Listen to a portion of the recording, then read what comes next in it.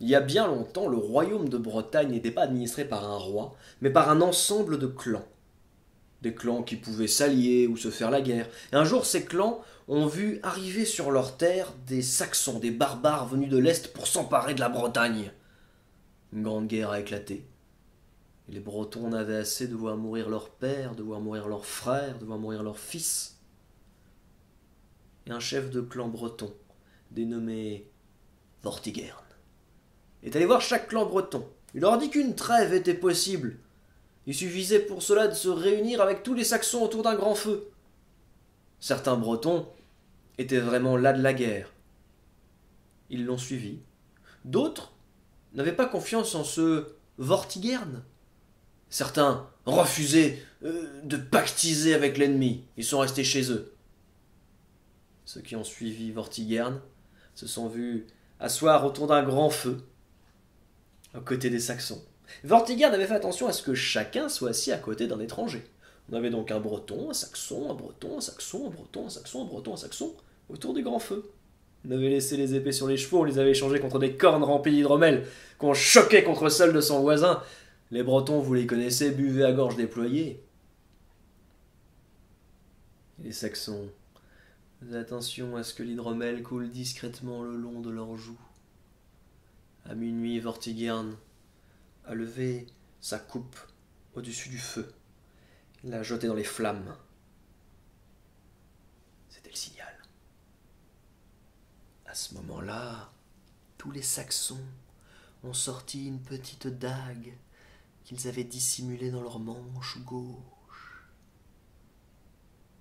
Et ils poignardaient leur cœur de leurs voisins En un instant, toute l'armée bretonne fut décimée. Vortigern, le traître, fut érigé roi de Bretagne avec une armée de Saxons derrière lui. Mais on massacre pas la moitié de la population bretonne en espérant que l'autre moitié va se laisser faire sans rien dire. Les Bretons qui étaient restés chez eux se sont unis sous la bannière de Uther Pendragon. Pendragon en breton ça veut dire euh, tête de dragon ou chef des dragons selon les traductions. Dans un cas comme dans l'autre, si un Pendragon en veut à votre vie, vous n'êtes pas trop rassuré. Vortigern a voulu se faire construire une forteresse imprenable. Il a trouvé une colline, une haute colline. Quand on était au sommet de cette colline, on pouvait voir des lieux à la ronde, au-delà des forêts, jusqu'à la mer. Il a fait ramener des pierres d'Irlande et a fait construire une tour. Pierre par pierre, agglomérée par un solide mortier, la tour montait haut dans le ciel, mais à la pleine lune, la terre s'est mise à trembler. Et la tour s'est effondrée comme si elle était faite de cartes. Le tremblement de terre, ça arrive, on a balayé les débris, et on a reconstruit une nouvelle tour. Mais à la pleine lune. Deux tremblements de terre, c'est quand même étrange. Le roi a fait réunir tous ses savants, des architectes, des clercs, des druides, des sorciers. Ils ont discuté pendant des heures. Laurent en avait la migraine. Il a fini par aller chasser. Quand il est parti, les savants se sont rapprochés les uns des autres et ont parlé à voix basse. Mes chers confrères, aucun d'entre nous ne sait comment empêcher le château de s'effondrer. Personne ne comprend pourquoi la terre tremble à la pleine lune. Mais si on dit ça au roi, il nous fera couper la tête. Alors, on va lui demander de faire quelque chose d'impossible. Il ne pourra pas le faire. Et ce sera pas notre faute si son château s'effondre. Il ne pourra pas nous faire exécuter. C'était pas terrible comme plan.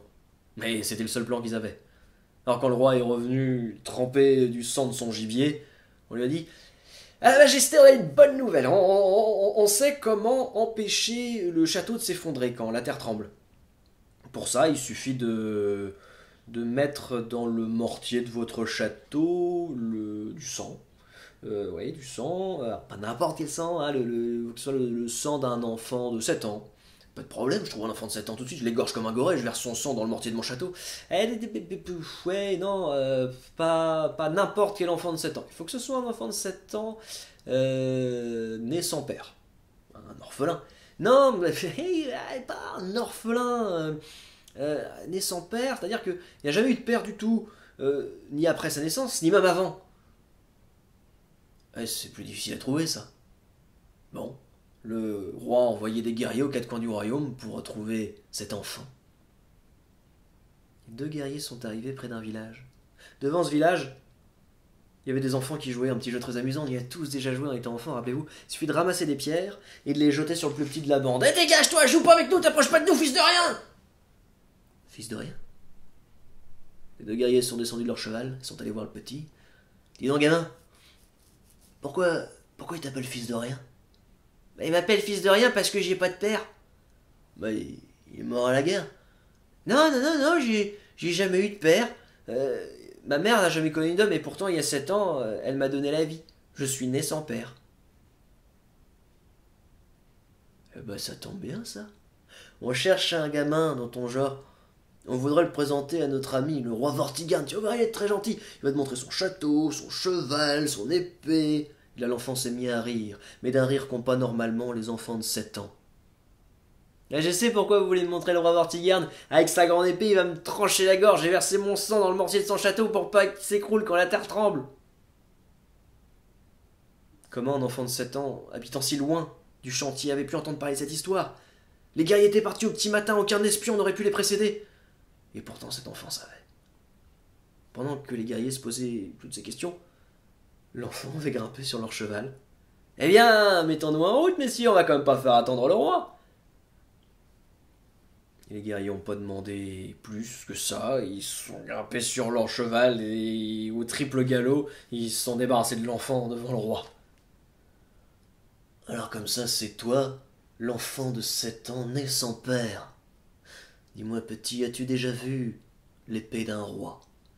Le roi Vortigern a sorti sa grande épée, celle qui avait fait couler tant de sang. Et l'enfant s'est mis à rire. Personne n'avait jamais ri devant l'épée du roi Vortigern. Personne, et pourtant cet enfant ne pouvait pas s'arrêter de rire. Pardonnez-moi, Majesté. Non, c'est juste que ça sert à rien de verser mon sang dans le mortier de votre château. Vos savants vous ont dit ça car vos savants ne savent rien, vos savants ne sont que des sots. Moi je sais pourquoi la terre tremble. Je sais pourquoi votre château s'effondre. Vous avez construit votre château sur une colline. Et sous cette colline, il y a une caverne, et dans cette caverne dorment deux dragons, un blanc et un rouge. Ils sont enlacés l'un dans l'autre. Avec vos marteaux, avec vos pioches, vous faites trembler la terre.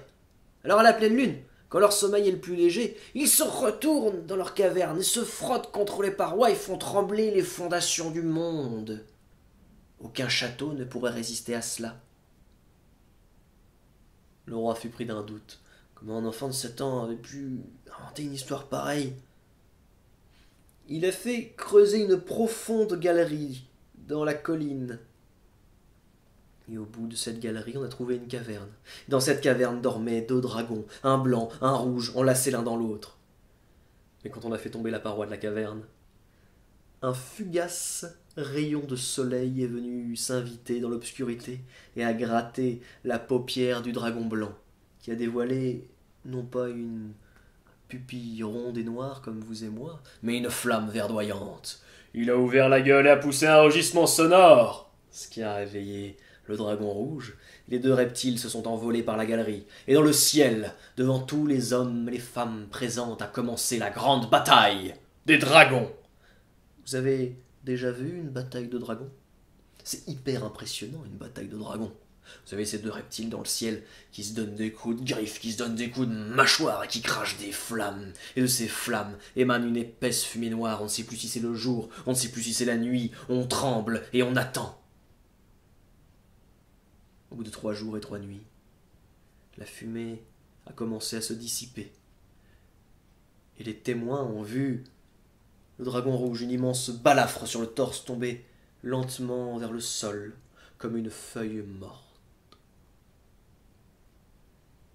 Le dragon blanc a déployé ses ailes, a poussé un rugissement victorieux.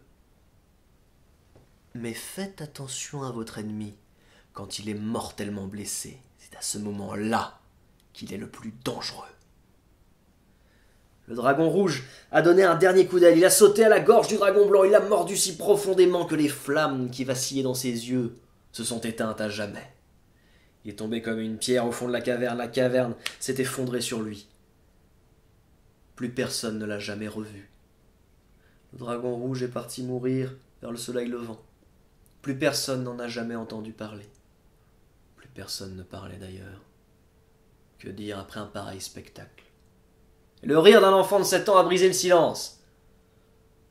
Tu vois quelque chose de drôle à ça, petit? Pardonnez-moi, Majesté, c'est juste que je regardais votre blason. J'avais pas vu que c'était un dragon blanc. Et un dragon rouge, j'en ai déjà vu un quelque part. Bah oui, sur le blason de votre pire ennemi, Uther Pendragon. C'est marrant, il a un dragon rouge, et vous, vous avez un dragon blanc. C'est comme si les dieux avaient enfermé ici ces deux monstres pour nous délivrer un présage. Ouais, cette fois-ci, ça en était trop. On se moque pas ainsi, au nez, à la barbe du roi Vortigern, en espérant sortir vivant. Le roi a sorti sa grande épée et sa avait fait couler tour de sang, et l'a battu sur l'enfant.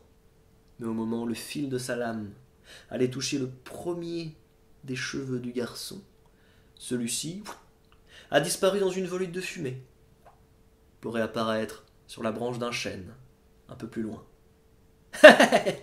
Pardonnez-moi, Majesté, pardonnez-moi, Messire, euh, on m'attend ailleurs à des affaires plus importantes. J'ai bien ri avec vous, mais voilà l'heure de nous dire au revoir.